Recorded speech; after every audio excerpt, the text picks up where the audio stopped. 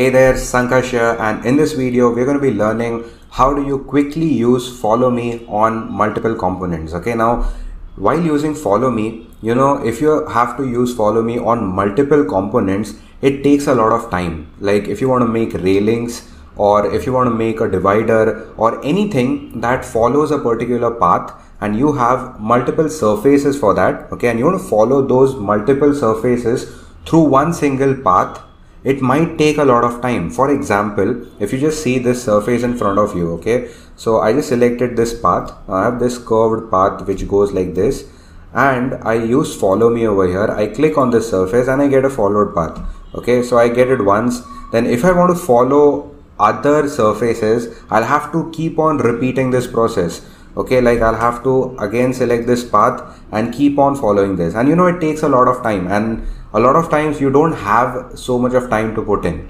So during these cases when you have one single path and when you have multiple surfaces that you want to follow through that path the best thing that you can do is okay the, the free alternative that you can do is just make a surface which covers all the surfaces that you have that you want to follow okay? So how do you make that surface is like this. So you can use the arrow keys to just lock your grid okay just to lock uh, your rectangle I'm just using a rectangle tool over here. Then just click on control.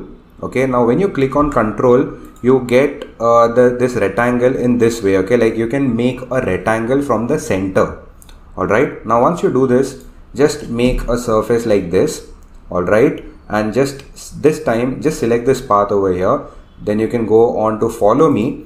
And now make sure that you don't you just follow this surface okay just follow the outer surface and you need to have all the other surfaces in that outer surface. All right now once you follow this outer surface you get the surface followed. Okay? And now comes the magic part.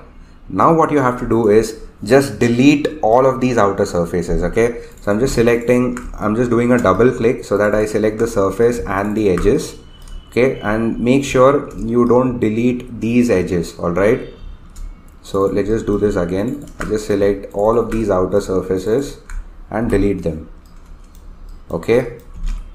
And you can see we have done a follow me in just one click by just making one simple tweak to our model. Alright? So this is how you can use follow me on multiple surfaces by just doing one single click and save a lot of time while modeling. Okay? So if you like this video just hit the like button. Make sure you subscribe to my channel to not miss any other future informative videos from me. And let's meet in the next video. Until then bye bye and take care